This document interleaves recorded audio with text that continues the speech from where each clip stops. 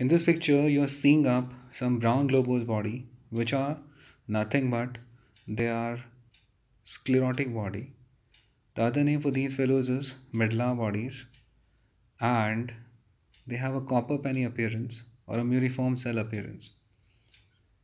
And they are characteristically seen in chromoblastomycosis, which are including up dematiaceous fungus like cladosporium and Phialophora and all. Thank you so much.